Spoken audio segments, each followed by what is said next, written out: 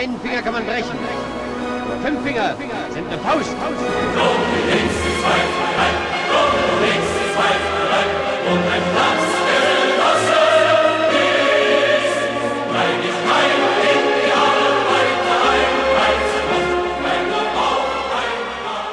Ich äh, möchte mal ein bisschen persönlicher anfangen. Äh, ich komme ja, wie vielleicht die meisten wissen, äh, aus der Gegend von Osnabrück ursprünglich und bin erst seit 95 hier in der Gegend. Und äh, wollte mal ein bisschen äh, dazu erzählen, wie Widerstand aufgearbeitet worden ist in der alten BRD nicht? und warum und welche Funktion das hatte. Also ich bin auf so einer Dorfschule zur Schule gegangen und als wir das erste Mal was vom Widerstand hörten, gab es eigentlich nur eins, das war Stauffenberg, der Name. Der wurde bei jeder Veranstaltung, bei jedes Mal, wenn dieses Thema aufkommt, kam Stauffenberg. Und das Attentat, was anderes wusste man über Widerstand eigentlich nicht. Und deswegen, Genossinnen und Genossen, ist es ja unsere Aufgabe, die Erinnerung wachzuhalten, dass der Hauptwiderstand irgendwo ganz anders kam. Der Hauptwiderstand kam aus der Arbeiterbewegung. Und einen Namen wie Ernst Thälmann hat man natürlich wie der Pest das Weihwasser gemieden. Nicht? Warum? Weil der Lebensweg von Ernst Thälmann uns eine ganze Reihe Lehren nahelegt, die auch immer aktuell geblieben sind. Die erste Lehre ist, dass die Sozialdemokratie durch die Zustimmung zu den Kriegskrediten den Weg in den Ersten Weltkrieg ermöglicht hat, mit ermöglicht hat. Er wäre vielleicht auch sonst gegangen worden, aber sie hat ihn mit ermöglicht und dadurch die Spaltung der Arbeiterbewegung herbeigeführt und sie von ihren revolutionären Grundlagen entfernt. Die zweite Lehre, der raufziehende Faschismus, ist vor allem gescheitert, der Widerstand daran ist vor allem gescheitert, weil die Arbeiterbewegung nie zu wirklich einheitlichen Aktionen gegen diesen Faschismus gefunden hat brauche ich den meisten hier Geschichte nicht erklären. Es gab dann ja noch bei äh, der Wahl Hitlers den Aufruf durch einen gemeinsamen Streik, äh, Hitlers Machtergreifung zu verhindern. Aber in der Geschichte hat die Sozialdemokratie, und das unterscheidet sie von vielen anderen Sozialdemokratien in Europa, sich nie zu einem Bündnis mit der KPD aufgerafft. Es gab nie eine Aktionseinheit in der Spitze bis in die Basis hinab, gegen den Faschismus. Das ist die zweite wichtige Lehre. Also wenn man in Grundfragen sich nicht verständigen kann, auch keinen gemeinsamen Widerstand organisieren kann, scheitert man. Und die dritte große Lehre ist, dieser Widerstand wird nicht umsonst verschwiegen. Dieser Widerstand wird verschwiegen und das ist meiner Meinung nach die Hauptlehre, weil die alten Ziele des Kapitals Bestand haben die Dominanz in Europa, die militärische Aufrüstung und die Domestizierung, sage ich mal, der Arbeiterbewegung. Dagegen stand Ernst Thälmann und da hat er beispielhaft gezeigt, dass man Widerstand auch in schwersten Zeiten und unter größten Opfern leiden kann. Der große Verdienst von ihm ist ja, dass er bis zum Schluss seiner Sache treu geblieben ist dass er trotz Folter, er ist ja scharf verhört worden, nannte man das wohl, glaube ich. Nicht? Mehrere Zähne sind ihm ausgeschlagen worden, er ist mit äh, der Peitsche misshandelt worden.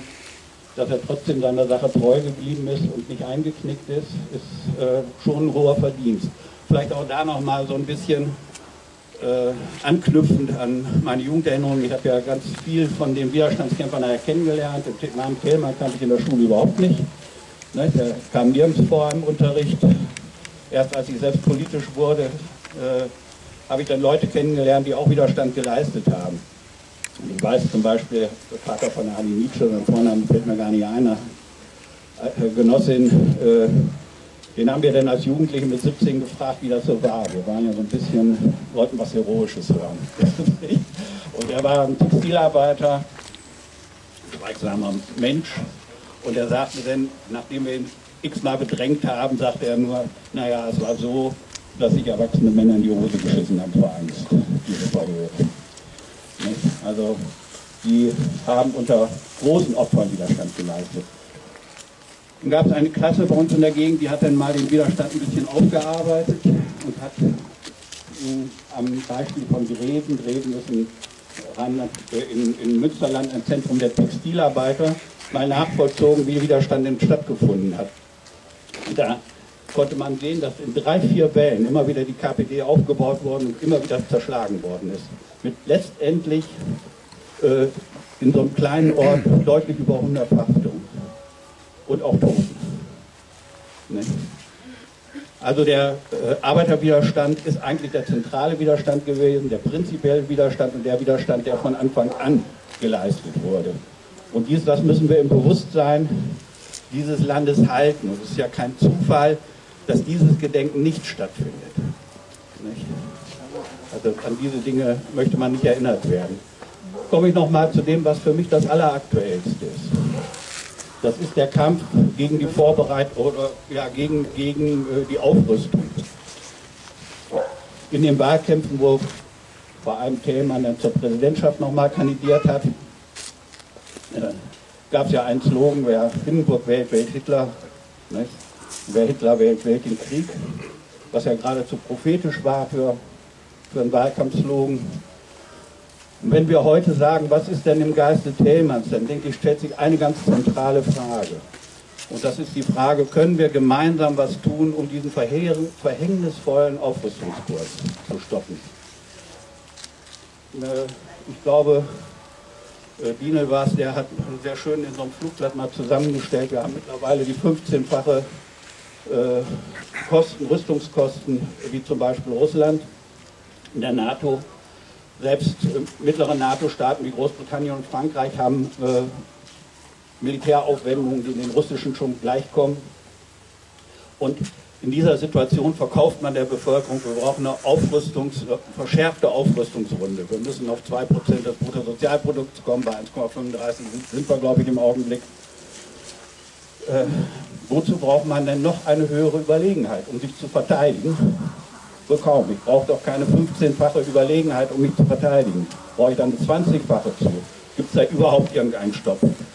Es kann ja nur zwei, zwei Lösungen dieser Sache geben, wenn man da logisch nachdenkt. Die eine Lösung ist, man will seinen Konkurrenten totrüsten. Und die zweite Lösung, die wohl verheerende, ist, dass man äh, begrenzbare Kriege wieder verführbar hält. Und dagegen müssen wir uns gemeinsam stellen. Nicht? Das ist ein zentrales, ein zentrales Thema. Es gibt sicher noch andere zentrale Themen, aber das ist das Zentralste. Der Frieden in Europa muss erhalten bleiben und wir können nicht die NATO-Truppen vor die Tore Leningrads, Moskaus, des ehemaligen Stalingrads schieben. Nicht? Äh, das ist eine andere Strategie und die, dem, der müssen wir uns entgegenstellen. Und deswegen meine Hoffnung, dass wir das auch wirklich gemeinsam tun. Und ich höre jetzt immer so auch die Hoffnung, dass eine Dreierkoalition die Rechte ablösen könnte auf Dauer mit der Linken, mit den Grünen, äh, mit der SPD.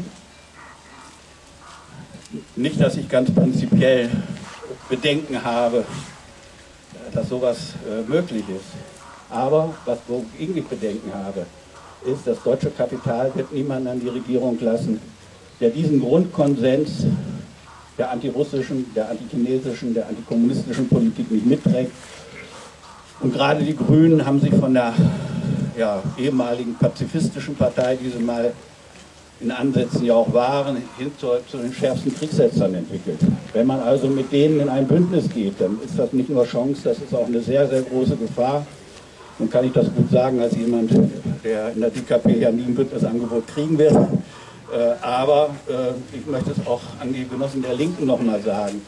Es gibt die Grenzen, die sollte man nicht überschreiten und dann sollte man sich lieber aus der Regierung fernhalten, als dass man die überschreitet. Und auch das, denke ich mir, ist im Thälmannschen Geist. Wir müssen uns gegen diese Kriegspolitik dieser Regierung, der NATO und der Europäischen Union stellen. So, dann nochmal vielleicht äh, ganz zum Schluss Warum diese Gedenkveranstaltung? Ich halte, ich halte das für verdienstvoll, dass wir das machen, auch wenn es ein kleiner Kreis ist. Halte ich das für sehr verdienstvoll, dass wir das machen. Wir halten die Erinnerung daran wach, dass in einer, in einer Situation, wo es wirklich Mut erfordert hat, es doch viele Menschen gab, äh, die auch unter Einsatz ihres Lebens bereit waren, sich dem deutschen Kapital, und das war es, das war die Strategie des deutschen Kapitals im Wesentlichen, nicht, die auf die faschistische Karte zu setzen, dem entgegengestellt haben Dass wir dabei unterlegen sind, hat das deutsche Volk am bittersten bezahlt. Und wenn wir heute wieder das Aufkommen von nationalistischen Kreisen sehen, dann sollten wir uns diese eine Lehre auch in Erinnerung rufen. Versagen wir, kann der Blutzoll groß sein, den man dafür zahlt. Nicht? Und nicht nur wir, sondern dann auch die ganze Bevölkerung, weil diese Politik ist verheerend. Also nochmal zum Schluss, und damit will ich auch dann ein Ende finden. Für mich ist das zentrale Thema gemeinsamer Arbeit, neben vielen anderen Themen, nicht? aber da können wir vielleicht bis ins Bürgertum hinein Verbündete gewinnen.